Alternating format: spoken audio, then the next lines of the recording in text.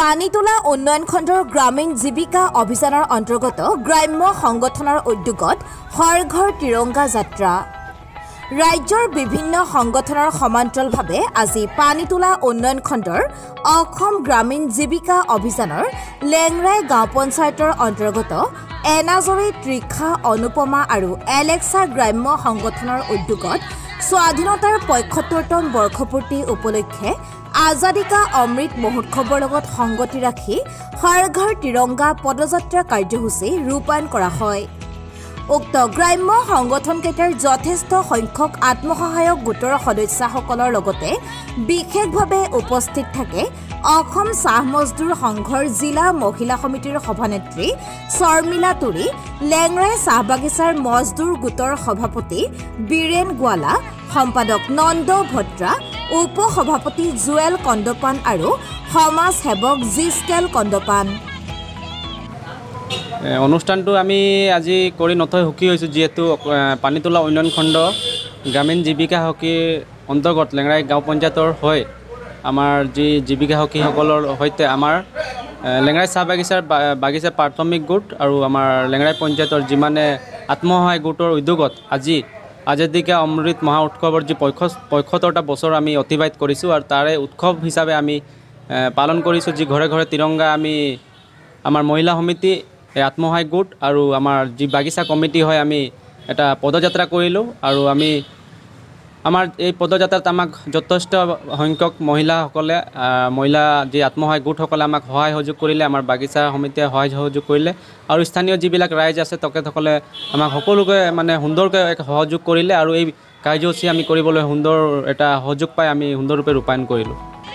এই পদযাত্ৰা এনাজৰী গ্ৰাম্য সংগঠনৰ সভানেত্ৰী ৰুমিলা সোণা সহ সম্পাদিকা ডিম্ফল গড় তৃষ্ণা সংগঠনৰ সভানেত্ৰী প্ৰণীতা কন্দপান অনুপমা সংগঠনৰ সভানেত্ৰী সোণালী ধান সম্পাদিকা অনিমা হাস্তা কৃষি সখী প্ৰভাজ্যোতি কন্দপান পশু সখী প্ৰতিমা তুতি কৰ্মকাৰ আৰু বেংক সখী জোনালী কন্দপানৰ সহযোগত সমগ্ৰ কাৰ্যসূচীৰ আঁত ধৰে জীৱিকা সখী জুলি কন্দপানে।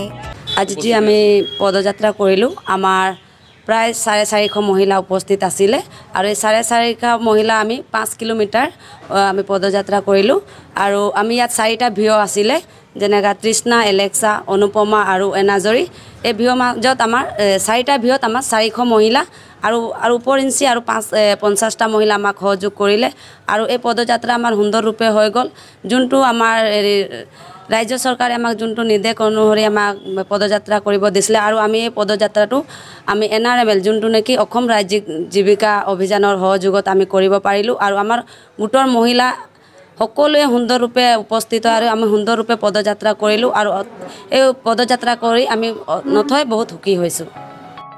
ইয়াৰ সমান্তৰালভাৱে পানীতোলা উন্নয়ন খণ্ডৰ অন্তৰ্গত লেংৰাই গাঁও পঞ্চায়তৰ উদ্যোগতো আজি দুপৰীয়া হৰ ঘৰ তিৰংগা কাৰ্যসূচী উদযাপন কৰা হয়।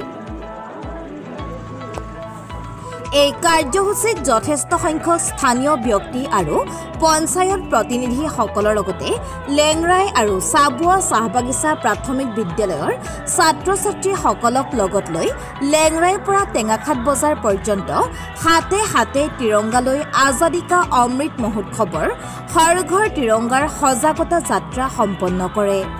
এই যাত্ৰাৰ নেতৃত্ব প্ৰদান কৰে লেংৰাই গাঁও পঞ্চায়তৰ সভাপতি জন ঘাটুৱাৰে আমাৰ উদ্দেশ্য এইটোৱে হ'ল যে আমি প্ৰত্যেকৰে মানে ঘৰে ঘৰে আজি যি স্বাধীনতাৰ পঁয়সত্তৰ বছৰ মহা উৎসৱ অমৃত অমৃ- অমৃত অহা মহা মহোৎসৱত আমি প্ৰধানমন্ত্ৰীৰ নিৰ্দেশমতে আমি যি প্ৰত্যেক ঘৰে ঘৰে তিৰংগা হ'ব লাগে জাতীয় পতাকা উত্তোলন কৰিব লাগে আমাৰ সেইটোৱে উদ্দেশ্য।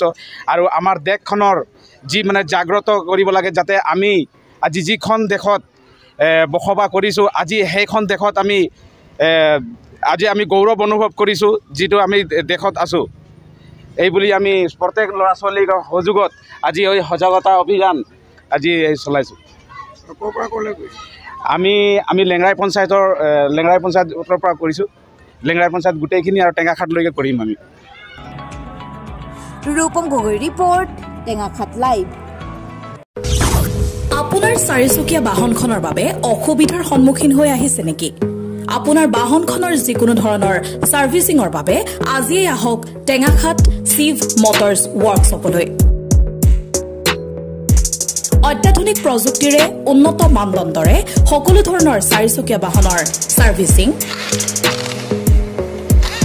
alignment denting and painting অত্যাধুনিক প্ৰযুক্তিৰ ৱাশ্বিং এণ্ড পলিচ যিকোনো প্ৰকাৰৰ চাৰিচকীয়া বাহনৰ spare parts air and nitrogen ফিলিঙৰ লগতে এক্সিডেণ্টেল ক্লেইমছ কৰাৰো সুবিধা আছে। গতিকে দেৰি নকৰিব আজিয়ে আহক চিভ মটৰ্ছলৈ আমাৰ ঠিকনা টেঙাখাত নিয়েৰ পুৰণা পেট্ৰল পাম্প টেঙাখাত ডিব্ৰুগড় সাত আঠ ছয় এক শূন্য তিনি। যোগাযোগৰ নম্বৰ ছেভেন জিৰ' জিৰ' 2325 8486 99 544